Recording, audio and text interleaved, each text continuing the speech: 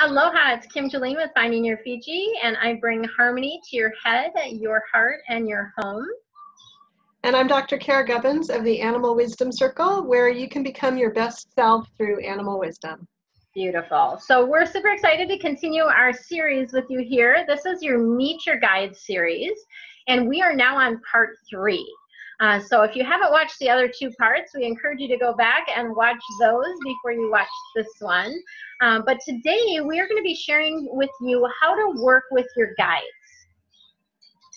And you know, it's funny, we um, in this series we've noticed that somehow we've come up with four steps for everything. Yeah. Which is like a funny number that we keep that keeps showing up. So um, today we've got four steps for you again, and the first one is to start with what may seem obvious. We may be stating the obvious, but the first one is to call in your guide. So you're developing a relationship with your guide. And so this video is really about how do you manage, how do you navigate that relationship? And the first step is that you initiate the contact by calling in your guide in whatever way is appropriate for you. You can visualize them, you can say it in your mind, you can light a candle, you can have a ritual, whatever you want. Um, I'm usually driving down the road going, hey, Jim, clear it up for me. But you know, however you want to do it. But that first step is that you initiate that contact and call in your guide. Yes, yes, exactly. So the second step is asking them for guidance. And I would really encourage you to do this all the time. Um, so no matter what is happening, what's going on in your life, whatever you need help with, ask them for help. Ask them for guidance. Ask them for your next step. Ask, ask, ask. I can't like stress that enough. Yeah, and as you're saying that, Kim, what's really coming to me is to, you know, go back to the part two of this series because we talk about ways to recognize that guidance, you know, how you get your information. But as you're asking, there's a lot of different awarenesses for how that um, information can come in, which I guess is really, you know, step three of listen. You know, we say listen for your guidance, listen to what happens, but in reality, it's monitoring all these different channels. You may have some words that come into your head. You may get an image. You may have a memory. There may be a song on the radio that makes you want to do something. You know, you may feel something in your body, a, a pulling back or a moving forward or feeling stronger or, you know, all of those are signs of that response. So, part of working with your guide is kind of developing your system for how do I know what they're saying to me? How, how do I recognize that? Because it may not always come as something that you hear, it could come in a lot of different ways. Yes, yeah, exactly. And we are actually going to dive into that bit of things a little bit deeper in part four when we talk about how to receive your guidance. So we will we will dive into that a little bit deeper. Um, but essentially, I feel like um, listening also is related to creating daily space for them to talk to you. So that daily practice of meditation, that daily space where you're getting quiet so that you can listen and you can actually hear them, okay? So it is something that you have to practice. It's not something that you can just do like one day and then set it down for a couple weeks and then pick it back up. It's it's a practice that that helps that that communication between the two of you flow, or not the two of you, but you and your whole team, essentially, because we each have, that's one thing to just say, like each one of us has a whole team of angels and guides. Uh, they're they're there just for us, and they're there to help us navigate this life and do what we came here to do. And so, really having that communication, that two-way communication with them on a daily basis. I was telling Cara when we were talking about this video, and what we're going to do is that I um, I I don't tend to actually like call them in because I'm in a constant communication with them all day long every day. So I'm constantly like asking them this and what do you think about this and you know is this something I'm meant to do and and I'm constantly in that dialogue with them. So I feel like it's like they're in the room with me all the time, right? Um, and that's partly because of the work that I do too, because all the work that I do involves them. Um, so, you know, some people that have a regular nine to five job that isn't intuitive, you know, they're maybe not connecting with them. But I would encourage you to bring them into your work because they can help you with that too. Yeah. So just being receptive and that practicing that, like intuition, intuitive guidance from your guides, it can be subtle and it can be a learned skill that you can get better at. So the more time you spend being open to receiving and monitoring your channels, the better you're going to be at recognizing what is guidance and what isn't guidance. What's worry, what's your your thought process and what's real actual guidance that you should be acting on. So yeah I, I, totally agree. Make time for that on a regular basis. Yes. And it should feel peaceful. When you when you receive it should feel peaceful. It shouldn't feel stressful.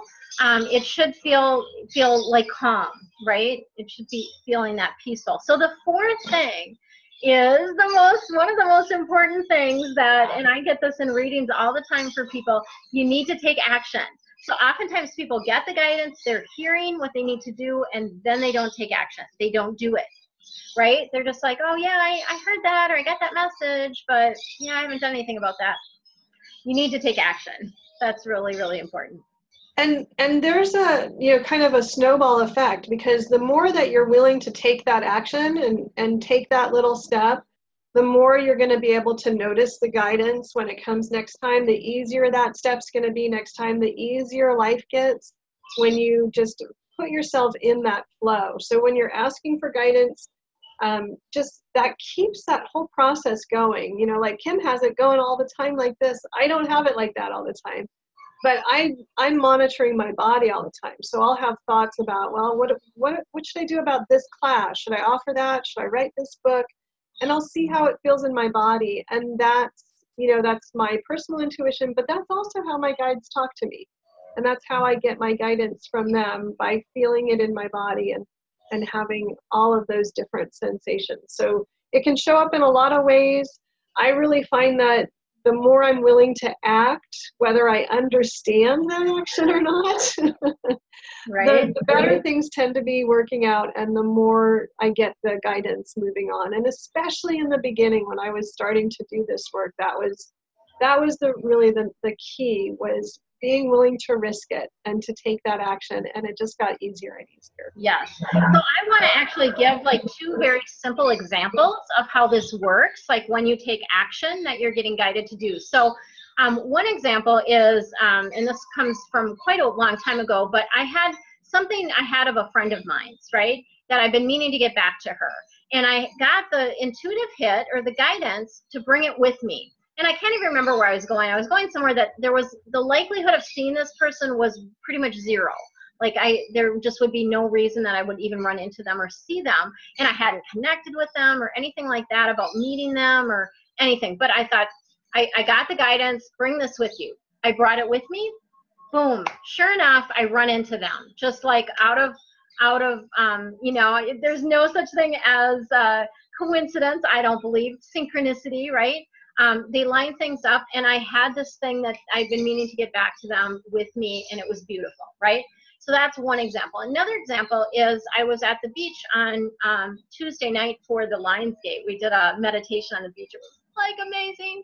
Uh, and so uh, i was at the beach and i was there i was one of the earlier people there and I went for a swim in the ocean and then I had like my you know my wetsuit my wet towel and stuff like that and I'm like I feel like I want to bring this to the car. It was quite a long walk to go back to the car, and this other lady's like, like, why, why are you gonna walk that back to the car? And I'm like, well, it'll be less to carry. I don't know. I just need to go. so, so I just grabbed my suit, my wet stuff, my wet towel, and walked to the car. And sure enough, when I was co- coming back to the beach from the car, one of the ladies had this chair, and she's a little bit older lady, and um, uh, just I offered to carry it for her you know, I said, Can I help you with that? I think that's why I was supposed to come back. Oh my gosh. She's like, That's an answer to my prayers. Thank you. Right? Because it's a very long walk and I was able to carry that easily for her. Right? So that's the kind of thing, like, you don't know what's going to happen when you follow it. You just got to follow it. Yeah. And that's the challenge in the beginning is you can't explain it, you can't understand it. You know what you get, and um, you know I have it took me a bunch of times of getting the guidance, really knowing it was guidance, and not acting on it and having really bad consequences, like missing out on stuff yeah. that I wanted because I didn't, where I could finally tie it together and say, okay, like I'm willing to, to take that risk, to take that leap of faith because I don't know what's going to happen, but I know that I need to do that thing. And, and for me, that's what it took. It took screwing it up a bunch of times before I finally said, okay, yeah, and they, you know, I've had experience with that too. Um, and what often happens is if things aren't flowing in your life, it's typically because you're not following the guidance. Because otherwise, if you're following what you're being given, things are flowing. Money is flowing, relationships are good, you know, things are just magic is happening all the time. When you're not not yeah, and that's why you want to work with your spirit guide, right? Like that's what exactly, we want. Exactly. you want that ease, the grace, the flow, everything moving, you know, at its natural pace, and all that good stuff coming our way. So that's that's why you got to do it. Yes, perfect. So just to recap, um, how to work with your guides. Number one, call them in. Number two, ask for guidance. Three is listen, right? Listen to them. And four is take action on it. So take that action on it. Um, so what I'm going to um, give you today, or the link that I'm going to include down below, is a link to my free readings because it's early in the month, and if you're wanting to get a little bit guidance and see how that comes in for you, uh, I have free YouTube readings for all the zodiac signs every single month. Uh, so if you're on my channel, you probably see them a lot. But if you're new to me, if you're maybe just stumbling on this on Instagram or somewhere else, um, then you want to go out and check out your free reading and see the guidance that's coming in for you because it will actually give you guidance for this particular month. And you know, I had um, planned on one thing, and I'm going to change it up here because I'm going to put in a link for the Animal Wisdom Circle because that's where we get spiritual guidance from animal spirit guides. And so if you want to experience that, then um, there's an opportunity for that. And you can um, check it all out on the link. And there will be a free, I'm, I'm thinking actually, I think Kim, you're my guest um, for the interview for this month. So um, either you can October. come and join us. Yeah, next month. Oh, you're October. You're yeah, October. October. So. Well, if you if you go to the link and you get signed up on the list, then you'll also be notified when um, Kim is my guest expert, and I don't even know what we're going to talk about then. But, um, anyways, so the Animal Wisdom Circle, you can come and give that a try. Awesome, beautiful, beautiful. Well, we'll see you on the next video. Um, next week, we'll be talking about how we receive our guidance, how it comes into us, and you'll be getting lots of juicy tips in that part four of the Meet Your Guides series. That's the fun one. I think I'm looking forward to that one the most. I am so, too. So see you guys fun. over there. All right. Take care, everyone. Have a great day.